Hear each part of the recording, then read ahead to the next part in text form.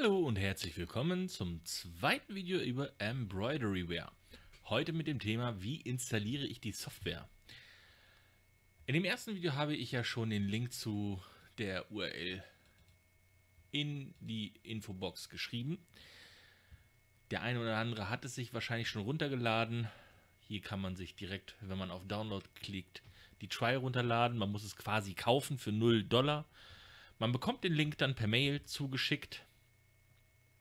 Und wenn man das dann fertig hat, hat man eine ZIP-Datei.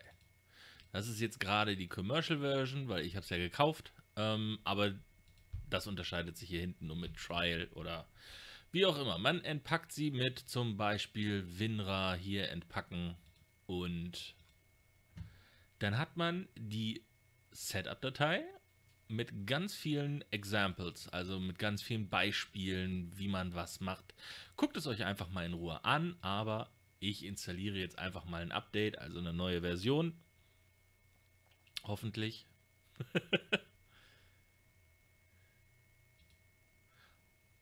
da ist es. So. Ach so. Ja. Ich mache jetzt einfach mal Repair. Jawohl. Und zack, bumm, fertig.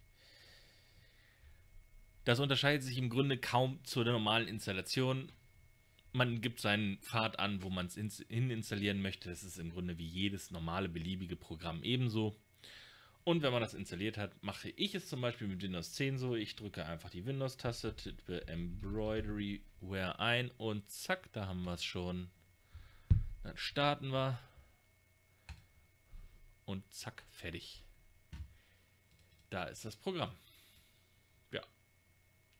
Ein sehr, sehr kurzes Video, ähm, aber ich denke, es hilft dem einen oder anderen, der wirklich der englischen Sprache nicht mächtig ist, dies jetzt auch locker zu bewerkstelligen. Wenn ihr noch Fragen habt, lasst einen Kommi da und ähm, ja, bis demnächst.